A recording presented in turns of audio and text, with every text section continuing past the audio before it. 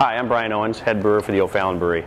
Today we're here to talk about our latest limited release brewer's stash series, uh, Wee Heavy. So Wee Heavy is the strongest variety of the Scotch ales. At 8.5% alcohol by volume, it's got a lot going on. Uh, it's a malt forward beer. For Scottish style ales, typically you don't see a whole lot of, of hop flavor and aroma. So we really add just enough hops to balance the sweetness of the malt. We use nine different types of malted barley here. So there's a lot of toasted bread, caramel, subtle chocolate notes going on in the beer, a whole lot of complexity. We also use two varieties of smoked malt in the beer. We use a cherry wood smoke and a peated malt. So tradition, traditional to the style, you get a very subtle smokiness going on in this beer, but, but not over the top by any means.